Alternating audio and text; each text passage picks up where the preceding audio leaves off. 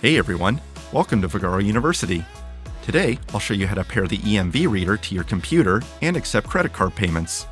Before getting started, you'll need to open a merchant account so you can process credit card payments. Afterward, you'll be able to use the Vagaro EMV credit card reader. Let me show you how it works. The EMV reader comes with a charging cable. We'll start by holding the power button on the reader until we see the light flash. We'll connect our reader to our computer using the charging cable. On our business account, we'll navigate to Checkout. In the bottom right corner, we'll select Connect. If this is our first time pairing the EMV reader, we'll receive a prompt to download and install the Vagaro Pro utility. We'll download the driver. Next, we will locate the Vagaro Pro utility file in our Downloads folder and launch the installer. Follow the on-screen prompts to complete the installation.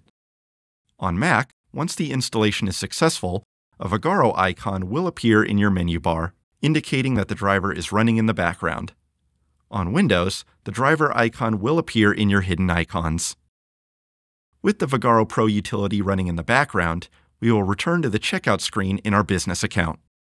We'll select Connect, and Vagaro will pair with our reader.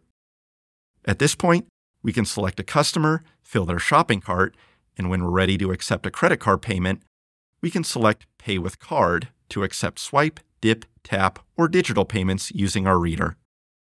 Once our transaction is complete, we can print or email a receipt for our customer. For more helpful tips and tricks, click the Vagaro University link in the description below.